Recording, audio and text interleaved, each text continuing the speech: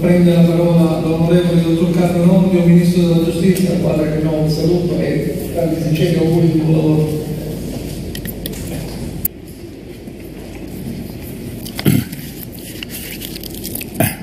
Rivolgo il mio deferente saluto al signor Presidente della Repubblica, a tutte le autorità e ai familiari delle vittime della mafia.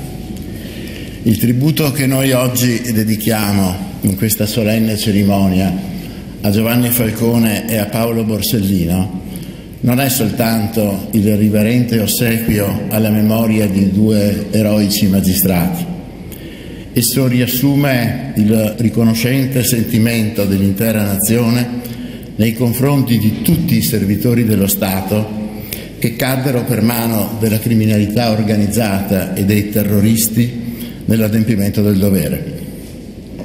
E tuttavia, come ogni nazione è rappresentata da una bandiera, anche questa lunga schiera di martiri è personificata nel modo più significativo da queste due vittime della violenza mafiosa, perché vi è un lungo tempo riassunto nella dedica breve scolpita all'esterno di questa aula austera. È il tempo di chi ha raccolto le migliori energie del Paese quando la fede nella legge sembrava affievolirsi, quando la speranza nella convivenza civile sembrava svanire e quando restava soltanto la carità a consolare le nostre ferite. Falcone e Borsellino seppero ridare questa fede e questa speranza e se oggi siamo qui a riaffermare la presenza dello Stato nella lotta al crimine, lo dobbiamo anche a loro e soprattutto a loro.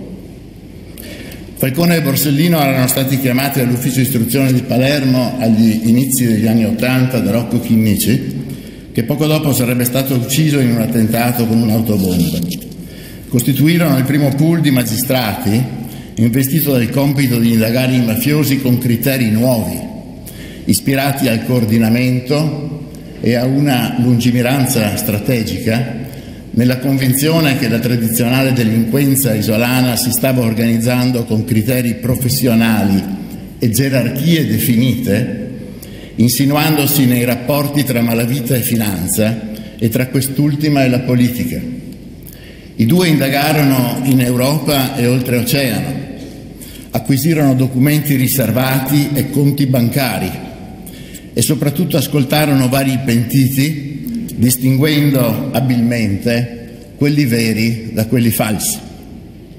Fu un lavoro monumentale ma quando nel febbraio del 1986 i 460 imputati vennero portati alla sbarra, le prove erano solide.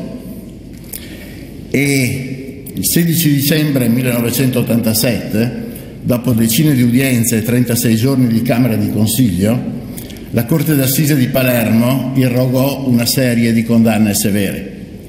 Per la prima volta nella storia del Paese Cosa Nostra era stata decapitata con la sola forza del diritto e nel rispetto della legalità costituzionale.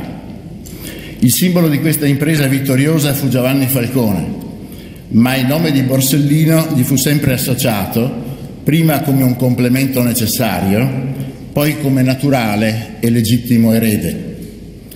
Questo successo, come talvolta accade, fu seguito da polemiche corrosive Falcone e Borsellino erano magistrati svincolati da ogni parrocchia ideologica e motivati esclusivamente dal rispetto della legge.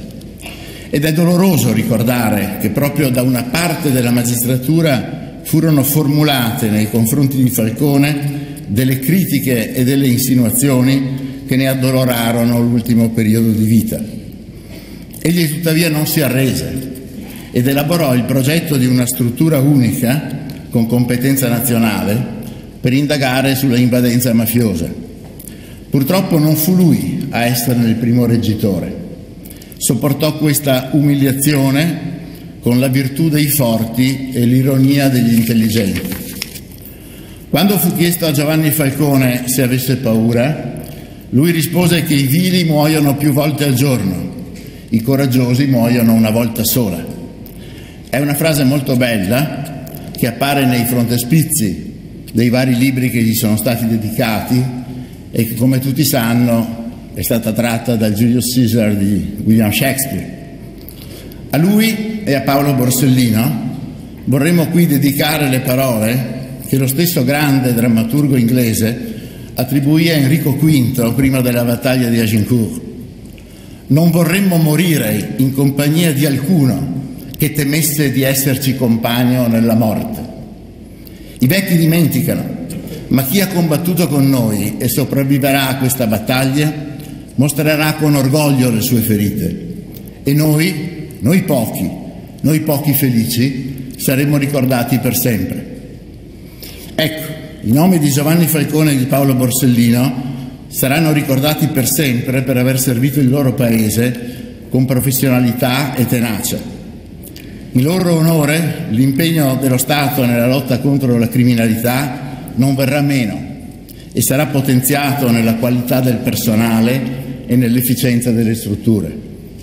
Ma al di sopra delle risorse umane e finanziarie dovrà sempre illuminarci come forza ispiratrice il coraggio di questi due magistrati, perché, come ci insegnava Tucilide, la felicità è libertà e la libertà è coraggio.